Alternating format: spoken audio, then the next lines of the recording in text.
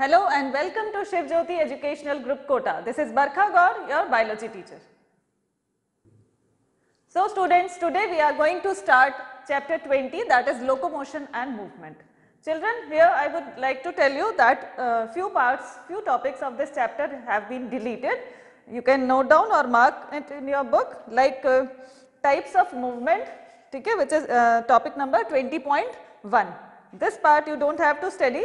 Then we will uh, study what? About the muscle, structure of muscle, then uh, structure of contractile protein भी पढ़ेंगे हम okay up to this only and the deleted part is skeletal system the whole skeletal system we would not be studying this year ठीक है so let us uh, begin the chapter with the general introduction and uh, I would suggest you to open page number 302 in your book chapter 20 locomotion and movement so children I think you must be knowing that what is the difference, basic difference between locomotion and movement. So locomotion is basically, uh, we can refer it to with the animals. Animals move from one place to another. ठीक है तो movement of the whole organism from one place to another is what locomotion and the movement like uh, I am moving my hand or I am moving my eyelids और uh, जो ball है उसका movement चल रहा है। या suppose when we talk about the plants तो movement with wind की वजह से या कोई भी मूवमेंट होता है लीव्स का मूवमेंट ब्रांचेस का movement this is what movement तो प्लांट्स uh, में basically movement is there and animals में हम लोकोमोशन की बात करते हैं। तो we can underline few points that movement is one of the feature of all living beings. That means uh, living beings show movement also. Animals and plants a wide range of movements. अब किस किस तरह के movements आप देख सकते हो? Streaming of protoplasm suppose हम किसी सेल की बात करें तो सेल में जो साइटोप्लाज्म होता है, उसमें मूवमेंट होता है। ठीक है? तो that is streaming of protoplasm in the unicellular organisms like amoeba because cell के अंदर के भी जो कंटेंट्स होते हैं, उनमें भी मूवमेंट होता है। Then movement of cilia flagella and tentacles which is shown by some some higher organisms after amoeba and human beings can move limbs, jaws, eyelids, tongues, etc. This is what movement. Some of the movements result in change of place or location. Jab movement, uh, when movement helps in the changing of place or location, then it, it is called what? Locomotion. Like walking, running, climbing, flying, swimming. All are these the locomotory movements. For example, in paramecium, cilia helps in the movement of the food through cytopharynx and it helps also in locomotion. Hydra में आपने देखा होगा hydra में जो tentacles होते हैं ठीक है टेंटिकल्स के मूवमेंट होते हैं तो tentacles are moved for capturing the prey and also it is used for locomotion in hydra okay similarly we move our hands and legs that is limbs for changing body postures and also for they are used for locomotion. So all these are the examples of locomotion and movement.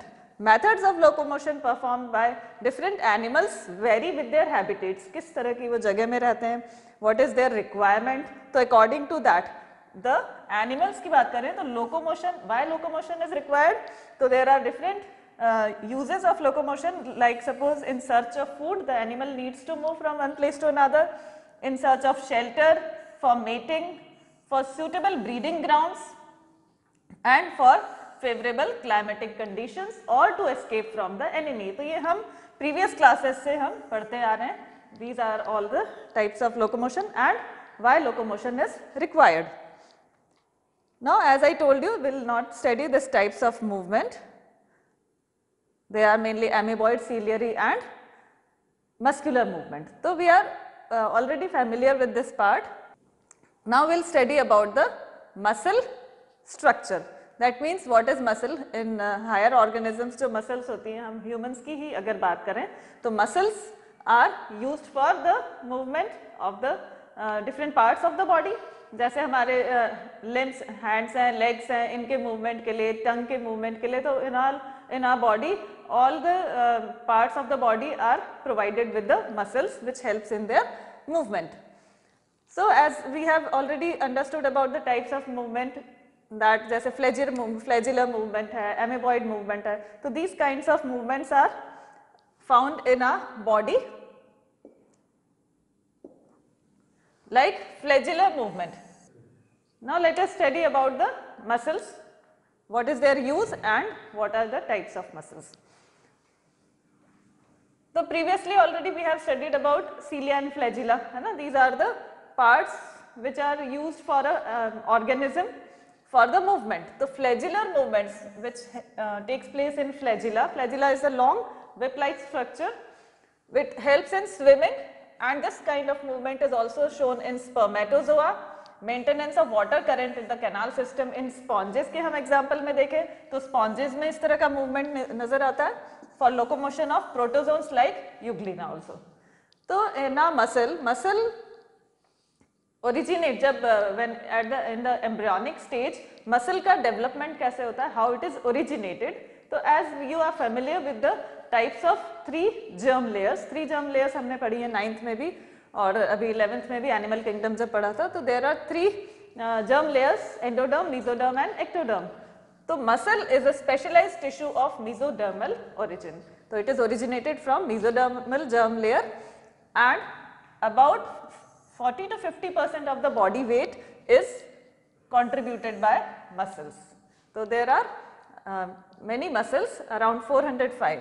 They have specialised property जैसे कि आप पहले भी पढ़ चुके हैं contraction और relaxation की प्रॉपर्टी होती है due to the presence of contractile protein in them तो it has some property of excitability contractility extensibility and of course elasticity that's we are easily able to move our muscles now, depending on their location, appearance, and nature of regulation of their activities, we can categorize these muscles into three kinds of muscles skeletal, visceral and cardiac muscles. So, let us understand about it. We will uh, classify them and we will make columns for it like first one is skeletal, second is smooth muscles कह सकते हैं हम इनको. There are different names given to these muscles And cardiac muscles. So, based, based on their location and function. Okay. Now, when we talk about skeletal muscles, skeletal, skeletal muscles का आपने structure देखा होगा in previous classes also. इस तरह के light and dark bands होते हैं ठीक है these kinds of light and dark bands are present over them तो these light and dark bands form striations कैसा स्ट्रक्चर नजर आता है हमें स्ट्रिएशंस का so these muscles are also known as striated muscles because of the presence of these striations and these striations are formed due to the presence of this light and dark band अभी हम इसको और detail में भी पढ़ने जा रहे हैं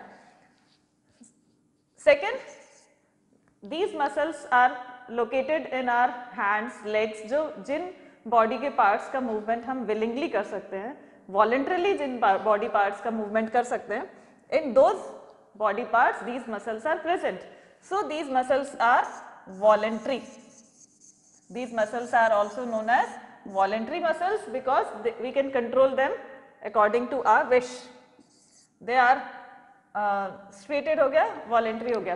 And as they are present in the हमारे जो बोन्स हैं लॉन्ग बोन्स हैं उनमें प्रेजेंट है, इसलिए इनको स्केलेटल मसल्स भी कहते हैं। लोकेशन की बात करें तो they are present in limbs है ना? लाइक टंग ठीक है? So these are the different characteristics of these muscles अब स्मूथ मसल से कंपेयर करें तो these muscles are like this ऐसा इनका स्ट्रक्चर है। ठीक है? इनकी शेप स्ट्रेटेड uh, मसल्स की शेप की बात करें तो these are cylindrical and more than one nucleus is present in them because more energy is required तो they are multi nucleated also okay multi nucleated muscles होती हैं. Now we talk about smooth muscles smooth muscles have the tapering end इस तरह का ये muscles रहती है। And they are they don't have any striation so they are called non striated ठीक है? स्मूथ है and they don't have any striation as they are found in internal organs जो विसरल ऑर्गन होते हैं हमारी body के visceral organ like heart heart को छोड़ के uh, इंटेस्टाइन ठीक है? यूरिनरी ब्लैडर वगैरह इनमें जो प्रेजेंट है these kind of muscles are there So they are involuntary muscles because we cannot control the movement of these muscles. So they are found in alimentary canal,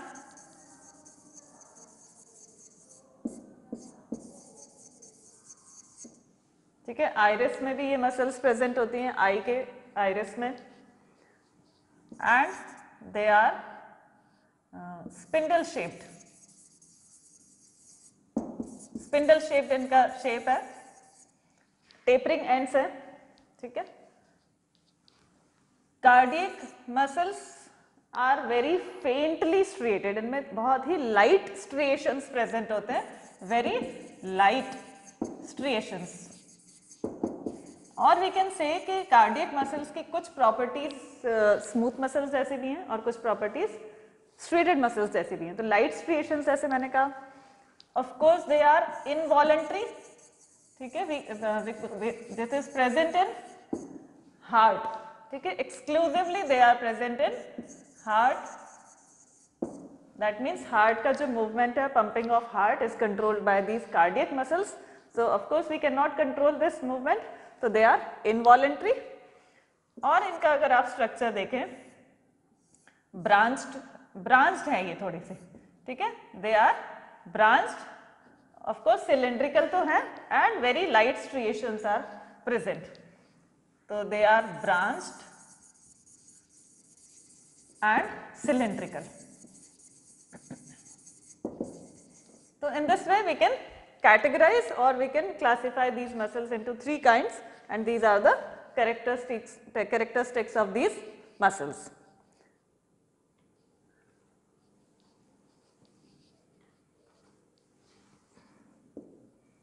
Now as we were studying in the from the book also we will be studying from the book also we will be underlying few important lines.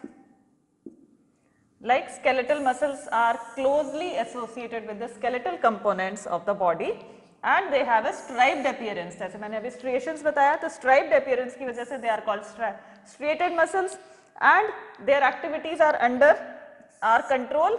तो they are हमारे जो nervous system के control में है so they are called voluntary muscles also and they are primarily involved in the locomotory actions and changes of body postures. Second visceral muscles, visceral organs में जो smooth muscles है they can also be called visceral muscles because they are located in the inner walls of hollow visceral organs of the body like alimentary canal, reproductive tract etc. They do not exhibit any striations uh, so there it, it is smooth in the appearance. Hence they are also called smooth muscles or non-striated muscles. So इसलिए हम इनको smooth muscles या non-striated muscles भी कह सकते हैं.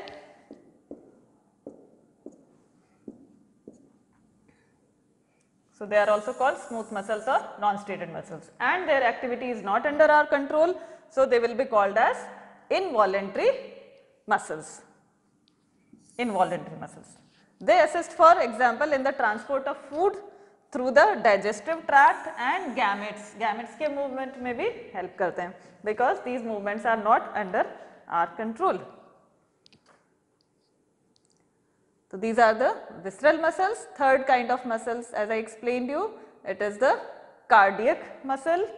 Cardiac muscles are exclusively present in heart muscles of heart.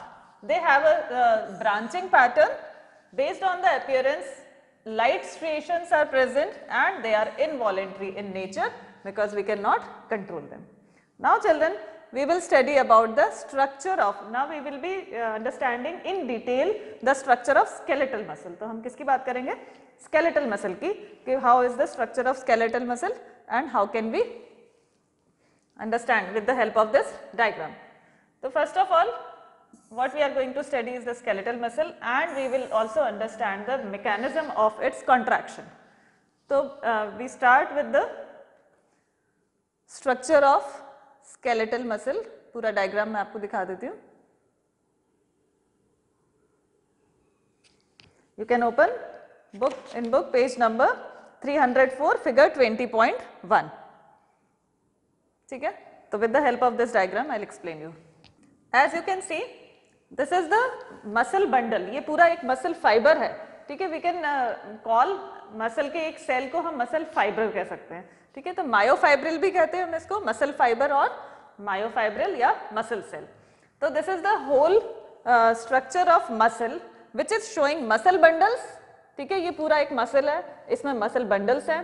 Then muscle bundles are made up of muscle fibre ठीक है this is this is the level this is the full muscle which consist of fascicle और muscle bundles and these muscle bundles again ये जो आपको structure दिख रहे हैं these are called muscle fibre या muscle cells now if we compare it with हमारे जो नॉर्मल सेल्स हैं, उससे कंपेयर करें अगर suppose this is a cell तो इसकी प्लाज्मा मेम्ब्रेन होती है।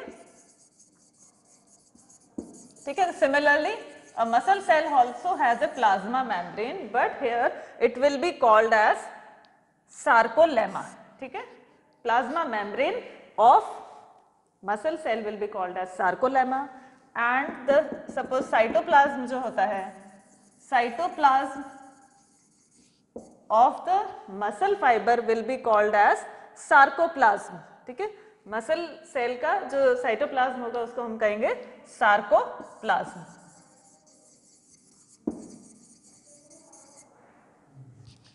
then these are the blood capillaries which are uh, surrounding the muscle cell so as we have as we are going to study each organized skeletal muscle in our body is made up of muscle band bundles or fascicles भी कहते हैं इनको held together by a common collagenous connective tissue called fascia. Each muscle bundle contains a number of muscle fibers then each muscle fiber is lined by na, as I explained you just now each muscle fiber is lined by plasma membrane जैसा structure रहता है तो each muscle fiber is lined by plasma membrane called sarcolemma ठीक है ये terms आपको याद रखनी है तो sarcolemma is the plasma membrane of the muscle cell muscle fiber is a syncytium as the sarcoplasm contains many nuclei syncytium condition किसको कहते हैं? जब मल्टी न्यूक्लिएटेड कंडीशन होती है। अभी मैंने आपको डिफरेंसेस बताए थे तो उसमें बताया था मल्टी न्यूक्लिएट सेल है। देन एंडोप्लाज्मिक रेटिकुलम जैसे नॉर्मल सेल में एंडोप्लाज्मिक रेटिकुलम रहता है, ऐसे ही इसमें रहता है सार्कोप्लाज्मिक रेटिकुलम ठीक है? तो endoplasmic reticulum of the muscle cell will be called as sarcoplasmic reticulum which is the storehouse of calcium ions. A characteristic feature of muscle fiber is the presence of large numbers of parallelly arranged filaments in the sarcoplasm which is called as myofilaments. These that is my, muscles के filaments को कहते हैं myofilaments या myofibril. Now each myofibril has alternate dark and light bands. जैसे हम striated muscles में हम पढ़ते हैं ना light and this is dark band, ये light, this is light and this is dark band. A detailed study of myofibril we are going to study about it uh, कि किस तरह से उसमें striated appearance आता है. तो it is due to the two types of bands या two types of filament रहते हैं which are known as actin and myosin filament. ठीक है एक्टिन एंड मायोसिन तो ये light and dark band actin and myosin filament की वजह से दिखते हैं the light bands contain actin ये जहाँ पे लाइट बैंड है ये एक्टिन है एंड द डार्क बैंड होता है वो मायोसिन होता है। And is called I band तो लाइट बैंड जिसको हम एक्टिन भी कह रहे हैं एक्टिन फिलामेंट उसको हम आई बैंड भी कहेंगे। दैट इज़ आइसोट्रॉपिक बैंड तो this is isotropic and this is anisotrophic So this is the structure of skeletal muscles. So dark band called A band or N isotropic. ठीक है तो we are studying about the fibre muscle fibre के बारे में हम पढ़ रहे हैं both the proteins are arranged as rod like structures ऐसे रॉड जैसे पैरेलल हैं एक दूसरे के to the longitudinal axis of the myofibrils actin filaments are आपको इसमें कंपैरिजन भी आ सकता है। We have to compare actin and myosin muscle fibre तो आपको डिफरेंसेस पता होने चाहिए। जैसे कि अभी हमने देखा actin muscles are light in colour ठीक है? आइसोट्रॉपिक भी कह रहे हैं हम उनको। Actin isotropic light. Also we can see that actin filaments are thinner as compared to the myosin filaments. तो एक चीज़ और आ गई कि are thin and myosin are thick. Hence they are called thin and thick filaments. So actin are called thin, thick, thin filaments and myosin are called thick filaments. In the center of each eye band is an elastic fiber called Z line in the center of it. We will see the diagram also. Diagram देखिए आप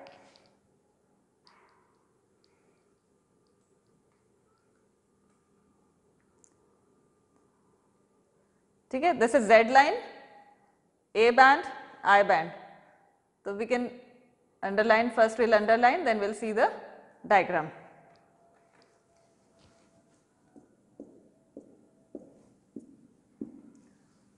so both the proteins are arrange in the rod like structure अब देखो I line क्या होता है? In the centre of each I band I band क्या, कौन सा है? एक्टिन एक्टिन है तो देर इज़ अ लाइन जैसे यहाँ पे आपको दिख रही है ये। This is Z line which bisects it the thin filaments are firmly attach to the Z line thin filaments इस जेड लाइन से फर्मली अटैच्ड होते हैं। The thick filaments are A band thick filaments को ये जो है, इनको हम ए बैंड कहेंगे। And also held together in the middle of this band by a thin fibrous membrane called M line ठीक है? तो थिन फिलामेंट के बीच की जेड लाइन थिक फिलामेंट के बीच में जो लाइन है उसको एम लाइन कहेंगे। A and I bands are arranged alternatively through the length of the fibrils तो एक बार लाइट बैंड एक बार मतलब ए आई ए आई इस तरह से ऑल्टरनेटली अरेंज रहते हैं। The portion of the myofibrils ये लर्न करना है आपको। The portion of the myofibril between two successive Z line ठीक है? This is one of the Z line and this is one of the Z line तो इनके बीच का जो पार्ट है the portion of the myofibril between two successive Z line is considered as the functional unit of contraction and is called sarcomere तो ये structure जो है, ये है सार्कोमेयर जब रेस्टिंग स्टेज पे होता है muscles when the muscle is in the resting stage the edges of the thin filaments on the either sides of the thick filament ये थिक फिलामेंट है इनके आसपास की जो दोनों मसल्स हैं रेस्टिंग स्टेज पे पार्शियली ओवरलैप करती हैं free ends of the thick filament को। ठीक है? अभी मैं आपको सेकेंड डायग्राम दिखाऊँगी। फिगर 20.2 का बी बी जो फिगर है, ठीक है? उसमें पता लगेगा आपको। तो at the resting stage the edges of the thin filaments on the either side of the thick filament thick filament के दोनों तरफ़ के जो थिन फिलामेंट्स हैं, वो पार्शियली ओवरलैप करते हैं। Free ends of thick filaments को, ठीक है? Leaving the central part of the thick filament बीच के पार्ट को छोड़कर थोड़ा सा ओवरलैप कर देते हैं, ठीक है? This central part of thick filament not overlapped by thin filament is called H zone तो सपोज़ मान लीजिए, जितना पार्ट उन्होंने ओवरलैप नहीं किया है, ठीक है? रेस्टिंग स्टेज पे थोड़ा सा ओवरलैपिंग होती है, ठीक है? सपोज़ ये ये थिन फिलामेंट है और ये थिक फिलामेंट है। तो थिक फिलामेंट को थोड़ा थोड़ा ओवरलैप किया। तो अब जो ये पार्ट जो अनकवर्ड है अनओवरलैप्ड रह गया इसको कहेंगे हम एच जोन तो समझ में आया? The part which is not, the part of the thick filament which is not overlapped by the thin filament is the H zone. आगे चलते हैं। You can see this diagram यहाँ पे आपको समझ में आएगा। ठीक है? These are the Z line Z line थी ये जेड लाइन के बीच वाला पार्ट ये जो आप देख सकते हो this is sarcomere and this is the H zone which is H zone किसका पार्ट है? थिक फिलामेंट का which is not overlapped by the thin filament ठीक है? जो ये unoverlapped that is called H zone